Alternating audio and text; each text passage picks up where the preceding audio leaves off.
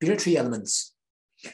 Atomic radius. Atomic radius decreases across the period because shielding effect is generally the same as each of the element has two fully filled inner electron shells that provide shielding. Increase in the number of protons leads to increase in nuclear charge. So with nuclear charge increase, shielding effect generally the same, ENC increases across the period. So the attraction force on the electron cloud is stronger when you move across the period and the atomic radius smaller. Ionic radius. For ionic radius, we will be comparing Na plus to Si4 plus. For all of them, they have exactly the same electronic configuration because they have the same electronic configuration, shielding effect is the same. It will be incorrect for you to say it's generally the same. And from there, we can conclude to say that uh, the net charge of Si4 plus is higher than Na plus, or we can say that the uh, across the period, uh, the ions has got greater number of protons compared to electrons, or we can mention that the uh, Si4 plus has more protons than Na plus basically pointing all towards the fact that ENC or effective nuclear charge is higher, attraction force on this electron cloud will be stronger, and therefore ionic radius will decrease from Na plus to Si4 plus. Next, we look at the anion from P3 minus to Cl minus. Uh, and all these anions have exactly the same electronic configuration, so shielding effect is the same. And uh, in this case, so Cl minus will have a larger number of proton or fewer number of electron as compared to proton. And therefore, because of that, the effective nuclear charge will actually increase, which means that Cl minus will have the smallest ionic radius relative to P3 minus. Melting point. For melting point, in terms of the first three elements, they're all metallic. And we know that uh, Al could delocalize up to a maximum of three electrons, forming Al3+. plus. So A aluminium would have the highest melting point, which means across the period, the, the metallic bond is stronger and melting point is higher. Silicon. Silicon has the highest melting point because it's giant molecular lattice structure and the atoms are held by very strong covalent bonds. Then lastly, for the last four elements, they're all simple covalent molecules and are all non-polar. So essentially S8, S8 would have the largest electron cloud and therefore the highest melting point, followed by P4, CO2, and then argon. Electrical conductivity. In terms of electrical conductivity, conductivity will increase from sodium all the way up to aluminum because aluminum can delocalize up to three electrons and silicon is a semiconductor, so the electronegativity will drop below that of sodium and magnesium and aluminum. Uh, so its electrical conductivity will be lower than that of sodium, sodium, magnesium, and aluminum. From phosphorus to argon, all of them do not have any delocalized electrons or mobile ions, and therefore, because of that, their electric, the electrical conductivity uh, is near to zero. As far as the first ionization energy trend go, generally the first IE increases across the period because shielding effect is the same. And uh, you have uh, more protons, so therefore increase the nuclear charge, and your size becomes smaller. So with a smaller size, more protons to attract the electron cloud, uh, the ENC actually increases across the period, which means your first IE increases across the period.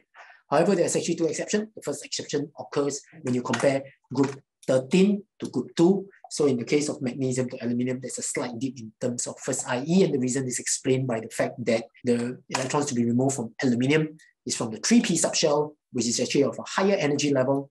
3p is of a higher energy level, than your 3s subshell, so less energy is required to remove it.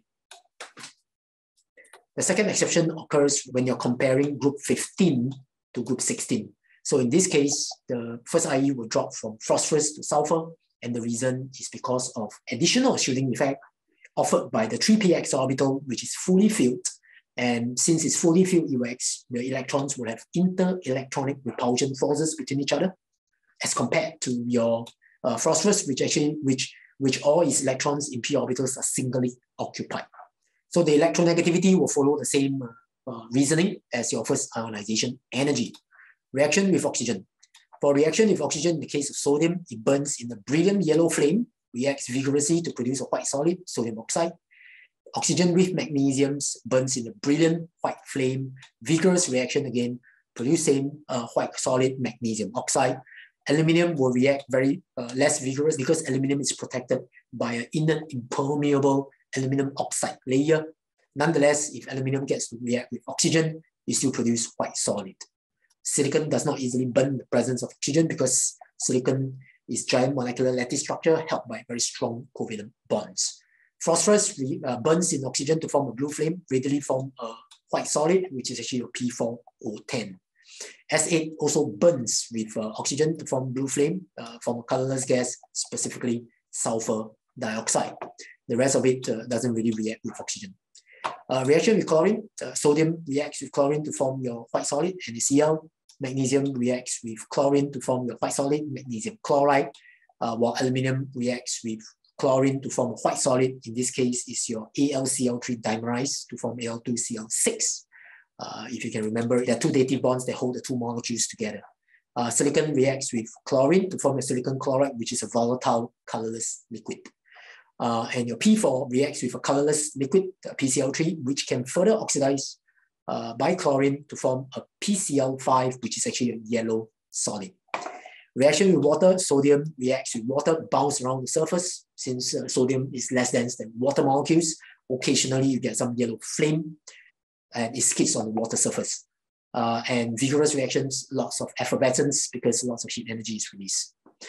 Magnesium reacts with your water and uh, magnesium just sink into the water reactions is non-vigorous and uh, occasionally you see bubbles being observed.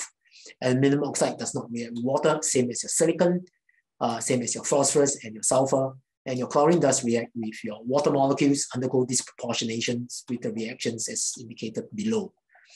Uh, finally, if the element dissolves in water, we're looking at a pH solutions of 12 to 13, that's your sodium hydroxide, going on to uh, slightly above 7 because magnesium hydroxide is alkaline.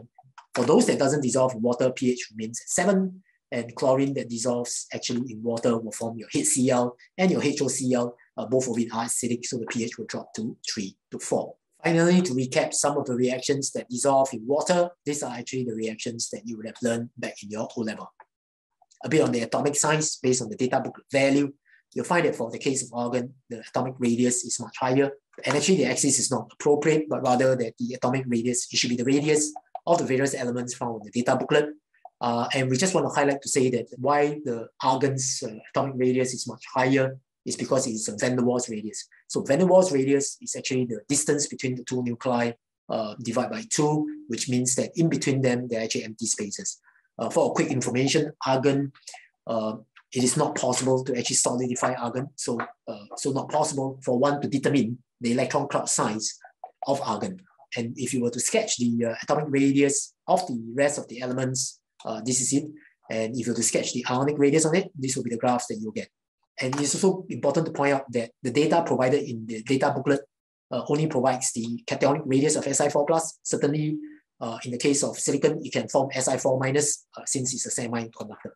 In the case of the melting point, you will actually observe sodium going up to aluminum, which is increased. Silicon is in fact the highest since it has giant molecular lattice structure. And then you will sink back down to your P4. Remember, there's a bump up because your S8 has significantly more electrons than the rest of the non-polar simple covalent molecules. In terms of electrical conductivity, there'll be a bump up in terms of the electrical conductivity to aluminum having the highest electrical conductivity, since it can delocalize up to a maximum of three electrons. Then it will actually drop down significantly uh, to silicon, which is a semiconductor. So, it, and it's, it's important to note that the electrical conductivity has to be lower than that of all the metals.